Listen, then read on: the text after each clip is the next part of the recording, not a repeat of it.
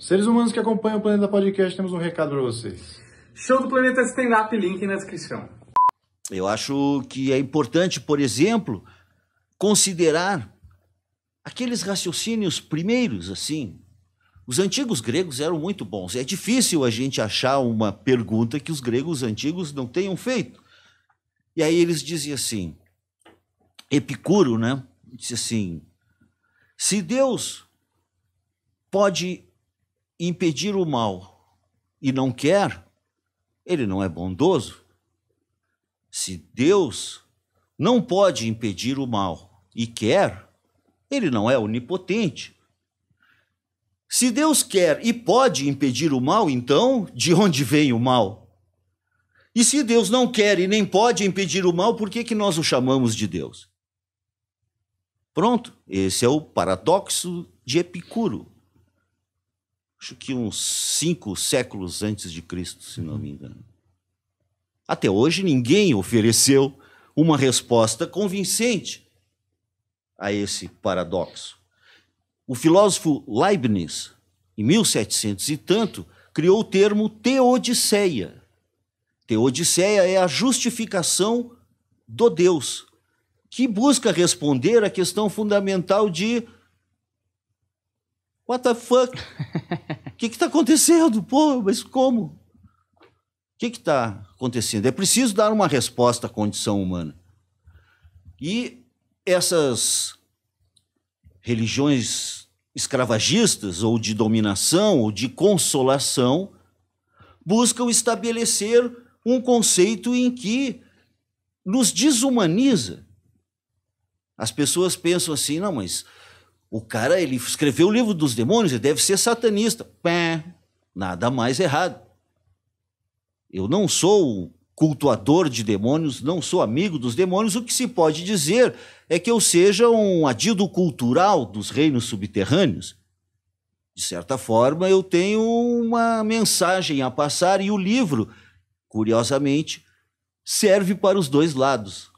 Ele fornece argumentos para os que querem se afastar dos demônios e argumento para os que querem compreender e se aproximar dessas entidades. Uhum. Né?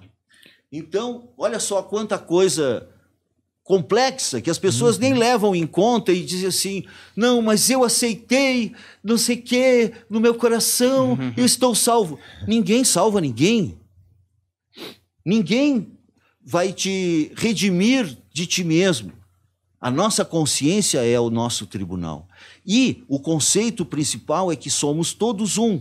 Todos os seres, anjos, demônios, animais, plantas, peixes, humanos, todos nós somos expressões de uma mesma consciência. Esse ser com S maiúsculo, que é a vida em si mesma e que se expressa em todos os seres sencientes, conscientes de si mesmo. Então, por isso, que é o conceito que eu diria que é essencial para entender essa história é o conceito de equilíbrio, que alguns até chamam de karma, mas que eu prefiro dissociar desse, dessa referência da estrutura da religião hindu e associar a uma questão energética. É como uma equação. Os fatores vão passando de um lado para o outro até que chegam a um denominador comum, até que chega a um resultado a, a derivação dos nossos atos é mais importante do que se pensa. Por exemplo, olha só, uma das ideias que baliza o que eu estou falando é, por exemplo, terrivelmente revolucionária que as pessoas não se atrevem a considerar e que é você não está sozinho na sua cabeça. Muito do que você pensa que está pensando, você na verdade está ouvindo. Isso é uma coisa. Outra coisa, também chocante, é que os teus pensamentos ecoam e atingem o alvo. A pessoa que está pensando, ela é treinada a considerar que, ah, na minha cabeça eu posso pensar o que eu quiser, né? Que nem aquele cara que disse: Não, eu fico bem, porque enquanto eu estou ouvindo essa conversa mole, eu fico imaginando vocês pegando fogo. Né? Clássico. Isso não é bom. Nem para ele, nem para as pessoas que ele está imaginando. E ele está gastando a energia da imaginação, que é o material da magia. Magia, imagem, imaginação, elas têm o mesmo radical porque elas têm o mesmo, a mesma raiz, o mesmo conteúdo. Fazer magia é criar imagens, é imaginar com certeza. O cara adivinha. Como é que um ser humano pode adivinhar as coisas? E eu não me refiro unicamente a mim mesmo, mas a todos os videntes e vocês têm uma farta experiência, né? E as pessoas adivinham as coisas. Essa essa característica da força do nosso pensamento que não se esgota em nós mesmos, portanto, a gente tem que ter cuidado com o que pensa. Imagina se você pensa assim, ó, ah, aquele cara roubou minha namorada. Eu quero muito que ele seja atropelado. Aí tu tem aquela raiva e ele está muito bem com a namorada, eles estão fora de alcance, então para proporcionar a catarse, para purgar aquela aquela raiva, aquele rancor, Toda noite antes de dormir você pensa, eu quero que ele seja atropelado por um ônibus do Arujá. Ainda define. especificamente. Assim, especificamente, é, isso.